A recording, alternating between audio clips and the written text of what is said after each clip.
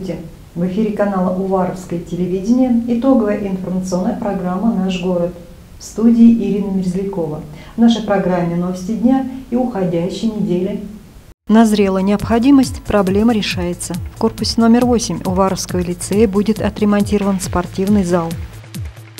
Оказание помощи практически в любой жизненной ситуации в режиме одного окна. Уваровский многофункциональный центр отметил десятилетие со дня своего образования. О том, что произошло в регионе за минувшую неделю, расскажет рубрика «Пятница» с обзором материалов официального сайта областной администрации. В завершении выпуска коротко еще о некоторых событиях, которые произошли в городе за эту неделю. Свыше 9 миллионов рублей из бюджетов разных уровней выделено на капитальный ремонт школьного спортзала. Уже начались подготовительные мероприятия. Глава города Владислав Денисов побывал в восьмом корпусе лицея и обсудил с руководством учебного заведения планы по проведению предстоящего ремонта. Корпусу номер 8 лицея уже 45 лет. Длительная эксплуатация здания сказалась на его состоянии, тем более, что капитальный ремонт за эти годы не проводился. Одна из основных проблем – состояние спортивного зала. Протечки крыши сделали невозможным его дальнейшее использование, да и необходимость обновить помещение внутри также назрела. Для решения вопроса были направлены средства из разных источников – из регионального бюджета выделено 4 миллиона 900 тысяч рублей на ремонт кровли с полной заменой перекрытий. Более 1 миллиона 300 тысяч из городского бюджета на установку новых окон. Кроме того, будут задействованы свыше 3 миллионов рублей федеральных средств, выделенных в рамках нацпроекта образования регионального проекта «Успех каждого ребенка». Они израсходуются на внутреннюю отделку спортзала и приобретение оборудования мы будем ставить задачи перед строителями и контролировать выполнение работ в установленные сроки, отметил глава города Уварова. К определению подрядчика подошли и, соответственно, поставили для себя очень сложные, строгие такие сроки именно окончания работ до 1 сентября. А об этом нам сказал и губернатор Тамбовской области Максим Борисович Егорову, чтобы к 1 сентября наши дети пришли уже э, в школу, в которой проведены все необходимые ремонтные работы.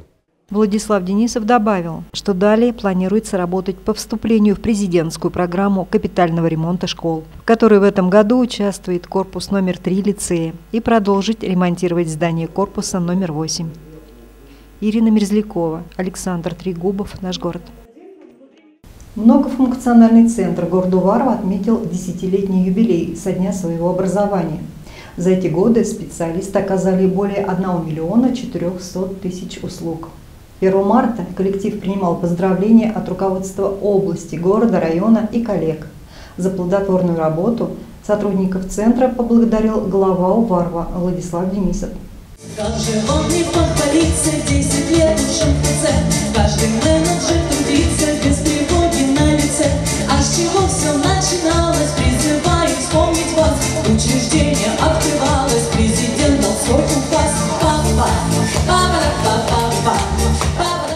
10 лет оказания помощи практически в любой жизненной ситуации в режиме одного окна. Многофункциональный центр Уварова отмечает свой юбилей. Впервые распахнув свои двери в конце февраля 2012 года, учреждение покорило жителей города и района качеством, быстротой и удобством предоставления государственных и муниципальных услуг. На сегодняшний день их насчитывается более 180. Для заявителей работают 18 окон.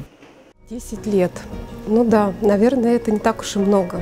Но для нашего коллектива это 1 миллион 431 тысяча 136 услуг. 10 свадеб, 10 рождений детей, 150 студентов, которые прошли у нас практику. Сегодня я хочу поздравить всех с этим небольшим юбилеем. В первую очередь это свой коллектив – также жителей города и района, наших гостей, которые любят приезжать в наш МФЦ. 1 марта коллектив МФЦ принимал поздравления с юбилеем не только от руководства учреждения, но и области, города, района и коллег. Лучшим сотрудникам в торжественной обстановке вручили почетные грамоты и благодарственные письма. За плодотворную работу сотрудников центра поблагодарил глава Уварова Владислав Денисов. Вы за эти годы действительно доказали значимость этой работы. вы обеспечили исполнение тех задач, которые были поставлены. Это доступность и качество государственных и муниципальных услуг. А самое главное для нас, что вы сформировали профессиональный коллектив. И сегодня я вас с этим поздравляю, желаю здоровья, профессиональных успехов – Принимали поздравления сотрудники Центра и от руководства Департамента государственных и муниципальных услуг, информационных технологий, связи и документооборота аппарата главы региона. Заместитель департамента вручила директору Уваровского МФЦ Ирине Чулковой благодарственное письмо администрации Тамбовской области. Она отметила, что 10 лет – совсем небольшой промежуток времени, но для коллектива Центра это весьма серьезный этап, когда пришлось осваивать новые формы работы с населением, налаживать взаимодействие с муниципальными региональными региональными и федеральными структурами, нарабатывать опыт и расширять спектр предоставляемых услуг. Э, вы на данный момент, я имею в виду МФЦ, являетесь лицом современного государства. Об этом можно судить э, даже по тем показателям, что когда гражданин к вам приходит, он видит вас, видит вашу улыбку, видит ваше желание решить вашу, э, его проблему. И от ваших профессиональных действий, от того, насколько вы быстро и оперативно ему поможете профессионально решить его вопрос, он судит в целом о государстве, об органах исполнительной власти. Поэтому мы вас благодарим за ваш труд. Высокий уровень готовности уваровских специалистов обеспечивать посетителям центра комфорт, доступность и сокращение сроков предоставления услуг отметил и первый заместитель руководителя уполномоченного МФЦ Александр Дерябин. За 10 лет а, я думаю, что а, МФЦ получил свой авторитет, и большинство вопросов, которые нужно было решать в отдельных кабинетах, в отдельных зданиях по всему городу, сегодня можно решить, придя к вам. Потому что вы каждый день учитесь, вы каждый день самосовершенствуетесь, вы повышаете свой а, потенциал знаний. Люди, которые сюда приходят, не всегда даже знают, какую услугу они хотят получить. Они приходят, приходят к вам в окошко и говорят, а мне надо. А дальше вы уже разбираетесь с теми вопросами, которыми, а, что конкретно нужно этому человеку. Сейчас многофункциональный центр для жителей города и района – незаменимое учреждение, где можно решить буквально все вопросы, касающиеся оформления документов. За 10 лет здесь была проведена большая работа. Но для коллектива МФЦ это не повод останавливаться на достигнутом. Сотрудники центра и дальше будут повышать свой профессионализм, чтобы в ответ услышать от жителей только положительные отзывы. Ирина Пивоварова, Виктор Викторов, Александр Трегубов. Наш город. Уварово – одно из трех десятков муниципальных образований, представляющих административную структуру региона, что происходит у наших территориальных соседей в областном центре, а также удаленных уголках Тамбовщины. В рубрике «Новости региона».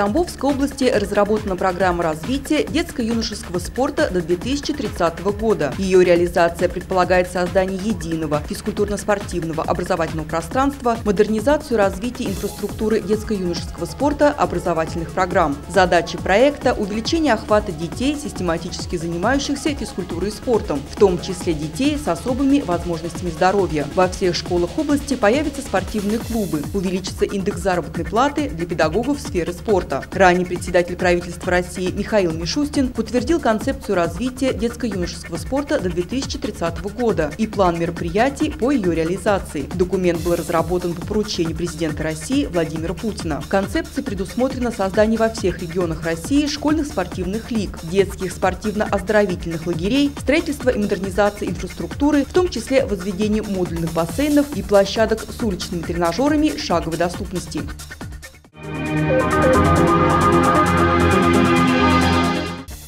Связи со снижением заболеваемости COVID-19 в Тамбовской области смягчили коронавирусные ограничения. Отменяется требование предъявлять QR-код или сертификат о вакцинации или справку о перенесенном коронавирусе или отрицательный ПЦР-тест на COVID-19 при посещении кафе, баров и ресторанов, режим работы которых установлен с 7 утра до 3 часов ночи. Также в них разрешили проводить развлекательные программы за исключением дискотек и организации танцполов. Разрешена работа кальянных. Отменен запрет на работу детских игровых комнат и залов, торговых и торгово-развлекательных центрах. Также отменяется самоизоляция для граждан в возрасте 60 лет и старше, беременных женщин и лиц, имеющих определенные хронические заболевания. Отмечается, что, несмотря на смягчение ограничений, риск заражения ковидом остается высоким, поэтому гражданам по-прежнему необходимо носить маски и соблюдать социальную дистанцию.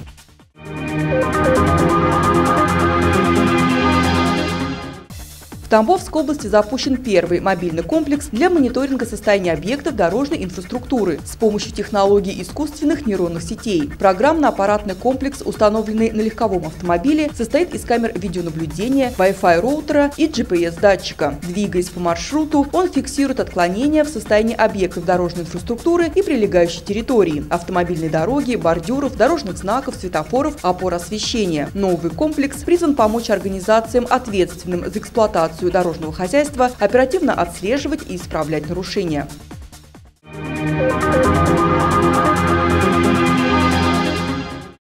7 по 10 апреля в Севастополе состоится торжественное открытие всероссийской акции «Вахта памяти-2022». Тамбовскую область на мероприятии представит председатель Совета регионального отделения поискового движения России Елена Валатина и руководитель поискового отряда Уваровского химико-технологического колледжа Антон Уваров. Тамбовские поисковики в этом году планируют отправиться в поисковые экспедиции в Волгоградскую, Новгородскую и Ленинградскую области. Всероссийская акция включает в себя поисковые экспедиции, захоронение воинов, найденных поисковиками, веками, церемонии передачи личных вещей найденных солдат и их потомкам. В прошлом году члены регионального отделения поискового движения России приняли участие в 14 экспедициях. Ребята выезжали в Краснодарский край, Ленинградскую область, вели работу в Крыму. В итоге им удалось отыскать, эксгумировать и захоронить останки 151 бойца. Еще 215 останков были подняты совместно с бойцами поисковых отрядов из других регионов. Сегодня в Тамбовской области создан 31 поисковый отряд, а в самом движении задействовано более 600 500 человек. Открытие всероссийской акции «Вахта памяти-2022» станет одним из мероприятий федерального проекта «Патриотическое воспитание граждан Российской Федерации» нацпроекта «Образование».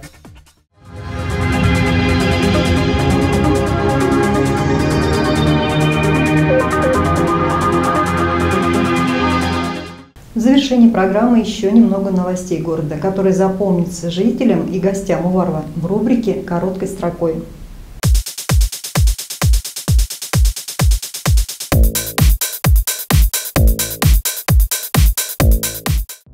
Два дня в пригородном лесу проходили зональные соревнования по лыжному туризму для школьников и семинар для учителей физкультуры и педагогов дополнительного образования туристско-краеведческой направленности. Преподаватели на практике изучали, как ставить зимнюю палатку и организовывать быт, готовили еду на костре, изготавливали снегоступы из подручных материалов и участвовали в соревнованиях. На второй день трассу, которую уже испытали взрослые, прошли школьники. Команды из Нижнешибряйской школы, лицея и кадетского корпуса соревновались в трех возрастных категориях категориях. На старте участники выполняли спецзадания, преодолевали испытания на восьми станциях лыжного маршрута.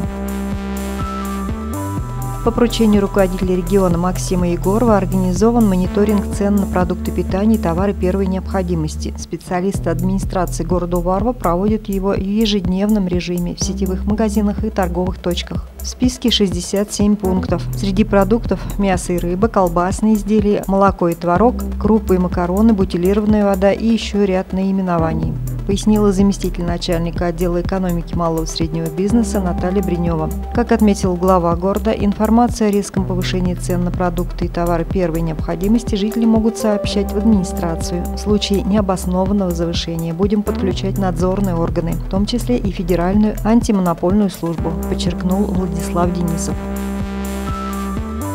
Учащиеся седьмых классов корпуса 3 лицея приняли участие в муниципальном этапе 12-го областного открытого чемпионата по интеллектуальным играм «Что, где, когда» среди школьных команд Тамбовской области «Весенний бриз». По итогам игры наша команда «Луч» заняла третье место. В минувшее воскресенье в городе Котовск прошло первенство Тамбовской области по лыжным гонкам на марафонских дистанциях. Соревнования были организованы среди обучающихся 2008 года рождения и моложе. От спортивной школы города Уварова приняли участие 10 человек. На дистанциях 5 и 7,5 километров. На дистанции 5000 метров Мечева Злата заняла первое место среди девушек 2010-2011 годов рождения. В корпусе номер 2 детской юношеской спортивной школы прошло открытое первенство города Уварова по мини-футболу, посвященное памяти тренера-преподавателя Яновского. По итогам соревнований среди юношей 2011-2013 годов рождения первое место заняли спортсмены Олимпа. Среди юношеских команд 2008-2010 годов рождения впереди всех команда «Рубин». В городе Варов состоялся муниципальный этап зимнего фестиваля ГТО среди взрослых. Работники образовательных организаций продемонстрировали прекрасную спортивную подготовку. Участники фестиваля прошли испытания – стрельба из электронного оружия, поднимание туловища лежа на спине, подтягивание на низкой перекладине, сгибание, разгибание рук в упоре лежа на полу, прыжок в длину с места. Также наклон вперед из положения стоя на гимнастической скамье. Показавшие лучшие результаты в каждом из испытаний были награждены почетными грамотами.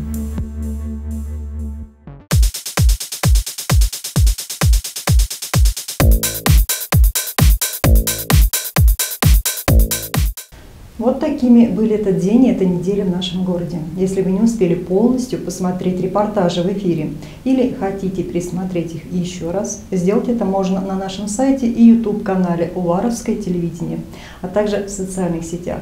Телефон редакции 4 61 10. Звоните и предлагайте интересные темы для новостных программ. А на сегодня это все. До новых встреч!